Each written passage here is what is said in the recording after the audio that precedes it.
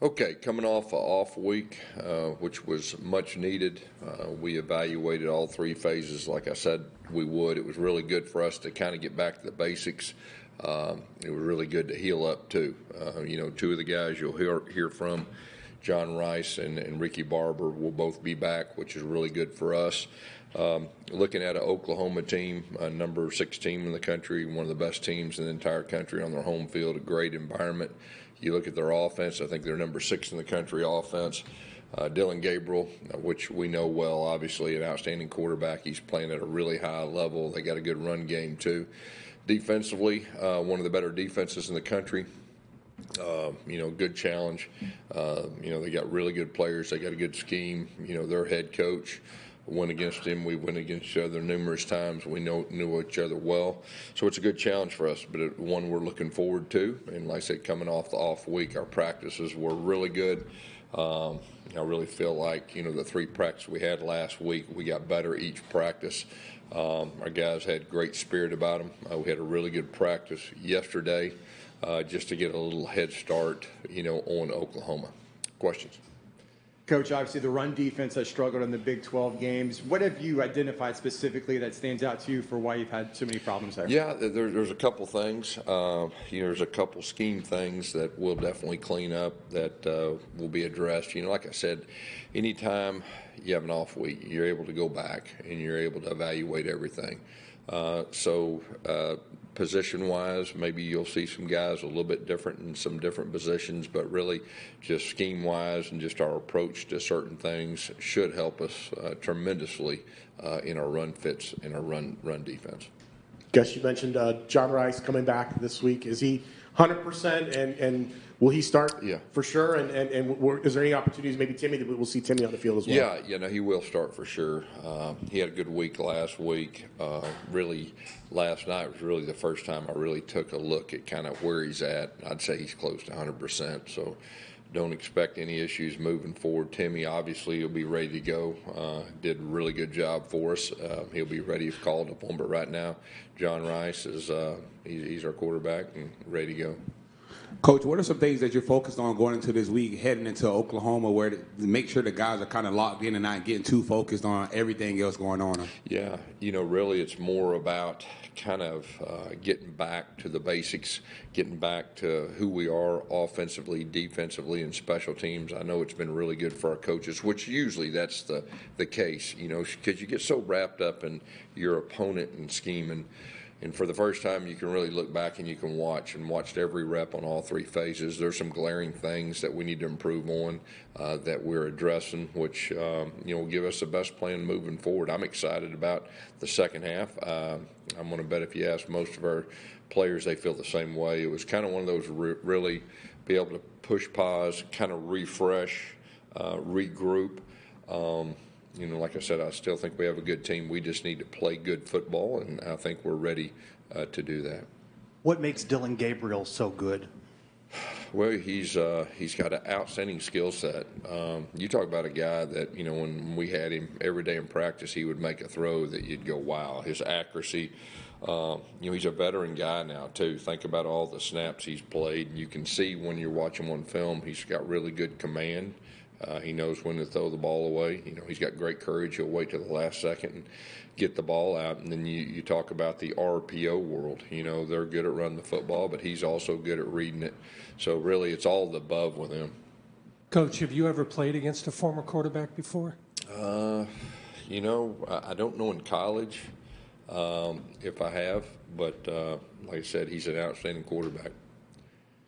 Uh, just having the bye having the bye week, you know, especially after the way the Big 12 season started. What what ways did the team leaders kind of help refresh and reset the reset the team? What what are the ways that that, that you guys really focused on Well, kind of I taking think you know, on? obviously spending time together um, in the off week and be able to slow down and not have to worry about uh, you know an opponent has been really good.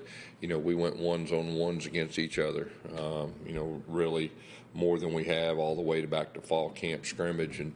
That has a way of, uh, of really bringing teams closer together too. So I think it was was a combination of those two things. Coach, you talked about the importance of the bye week for evaluating all three phases of your team. You said you saw some glaring areas for improvement. I guess what are, in your mind, the top areas that this team needs to improve upon looking at the second Yeah, half the you know, I don't want to incriminate us too much about, you know, getting specific, other than there was a couple things that really stood out that you just kind of go, okay, we're going to address that, we're going to address that, we're going to address that. Obviously, our, our, our run uh, defense uh that that was one of the number one things. Uh, and then it was penalties uh, on offense, and really probably just the basic overall execution on offense. You know, that was really um, what stood out big picture wise. And then you look at certain areas, you know, red zone defense, red zone offense. How can we improve in those areas? And so those are really the the big picture areas that, just from a head coach's standpoint, making sure that we're better moving forward. Guess you talked about having some guys come back who were, who were banged up and injured. Overall health of the team, how, how much have you seen for this? You know, this I would say right now, uh, you know, halfway through the season, I think we're in good shape. You know, there towards the last couple weeks, I mean, we were we were just kind of hanging together, which that's to be expected. There's a lot of other teams in college football that halfway through the year, same way. You know, really hoping that our offensive line, you know, I think we're really close for our offensive line to all be healthy. Uh, that'll definitely help. Uh, I think we're getting closer to getting five guys, keeping them one position, getting that continuity. Uh, defensive line, I think we're healthier there. Um, and I think that's where it really starts. Linebacker has been one of those positions that's been a struggle, maybe besides Jason Johnson. I know you got some DNs that have some linebacker experience. And in the bye week, do you talk about maybe moving guys around and moving positions of guys? Yeah, you know, you could see some different things. Like I said, I don't want to say or incriminate exactly what we're doing moving forward, but uh, we evaluated all those things. And, uh, you know, I think one thing, too, that also stood out is special teams. You know, there's a couple guys that hadn't helped us up to this point on special teams that'll have a chance to help us on, and that could equate on offense and defense playing a little bit more than maybe they did, if any at all, the first six games. From a mental toughness standpoint, what do you need to see from your team this week? Uh, mental toughness. I think it all works together. Physical toughness, mental toughness. That's really what we pride ourselves on. Um, you've got to play good quality football, and obviously the last six quarters were were not up to our standard. Uh, but I expect us to to cure that and moving forward and be better in those areas.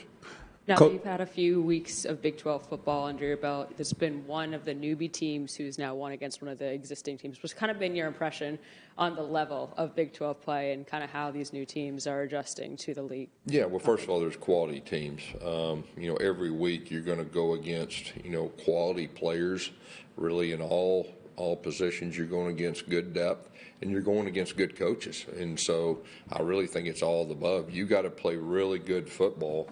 Uh, to win games in this league, we knew that when we came in, and that was really our approach. We've got to start playing good football.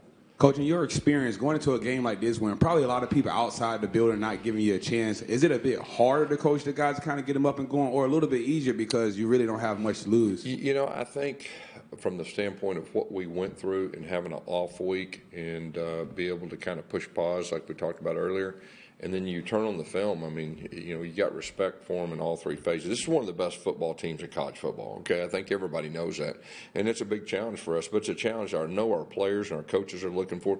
Me personally, I'm very excited. I mean, I'm excited for our team and excited for the opportunity.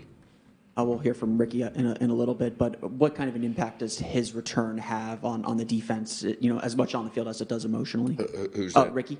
Yeah, I mean he's he's one of our best players. You know, I, I, I categorize him as an impact player. He can impact the game. Uh, you know, with his pass rushing ability, with his ability to play the run, and he's one of those guys that makes everybody around him better. So to have him back, and I'd say, like I said earlier, I mean, John Rhys is close to 100%. I think Ricky is too after just watching him practice uh, yesterday, and that'll be two really big keys, I think, to our overall team having those guys back healthy. You mentioned offensive line getting closer to 100%. At center, you know, what is the situation there? Is it Caden Kitler's job if he's healthy? I know Drake started there and Bula was banged up a little bit. It's been Bu- playing. Bula's done some really good things. Um, you know, and really it was all about his snaps there for a while, but he's been snapping the ball uh, extremely well. I, I thought K- Caden Kitler did a really good job when he's in. He's still probably not 100% right now, but he is getting closer. Um, and then Drake, you know, really starting to settle in a little bit more guard. He is capable of playing center, but I think that fits him a little bit more, um, you know, with not have to have the stress of snapping the ball and everything that goes with that. Gus, uh, RJ and Johnny have carried the load in the running backs room. The rest of the guys in that group, you talked about that before the season started, how Yeah. deep this unit was. What's been their status? They haven't gotten a lot of snaps over the last couple of games. Yeah, I think it's one of those things that when you got somebody like RJ and Johnny, you know, especially Johnny, you're you're sitting here from an offensive coaches saying, well, how can they get him the ball? How can we get him the ball more? Both those guys have done an outstanding job. That's nothing against the other guys. Uh, you could see the other guys play a little bit more. We'll see. Obviously, those two guys have stayed healthy too. So uh, there'll be a little more specific plan as far as uh, that moving forward. But we do have two or three guys that, if something did happen or need to play more, we have a lot of confidence in. We said that the very first of the year. I mean, that's one of our deepest positions. We knew it. We've stayed healthy so far. Uh, but those two guys are impact players. I mean, they're they're uh, you know averaging good yards. You know when they touch it. Coach, just talking about the health, uh, getting the guys on the field is one thing, but how do you keep those guys on the field to kind of try to make a run at this thing for the second half of the season? Yeah, I mean, I think that works um, hand in hand. I mean, you know, now we're we're healthier at the midway point. Good. Now we got to stay healthy, and I think it's just a matter of managing your body, uh, managing your mind, and then having a little bit uh, of fortunate things happen, staying healthy. You mentioned a reset button. What do you need to see from your team in fundamentals like tackling at this point in the season? Well, I think that that last week was really kind of good to go back and kind of go back to the fundamentals that you just said. Uh, slow down a little bit, uh, focus on tackling, not just tackling, but on special teams tackling. A lot of times the offensive guys, you know, in practice every day don't get a chance to tackle. So that was good to, to do that. And a lot of times it's just good to go old school against each other being able to run the football, you know, fit the run on base offense, base defense, same thing against each other, and it was really good. And we we got after it. Uh, if you ask the players, I'm going to bet they felt really good about last week about just kind of going old school, back to the basics, and that really will help us moving forward, I believe. What's your personal history with Oklahoma? I know you were at Tulsa. Did you play Oklahoma at that time? And, and Brenton Venables is their head coach. Any uh, back and forth there? Yeah, when I was at Tulsa, I guess in uh, 2007, we played Oklahoma at Tulsa, and Venables was the defense coordinator. Um, you know, I got family in Tulsa. I went to first and second grade in Tulsa. My mom's family's all from there. Grew up, you know, probably going to a game a year, watching OU play back in the day. So very familiar. My stepdad is uh, he was a big uh, Boomer Sooner fan. He's from Oklahoma City, so I dealt with that growing up.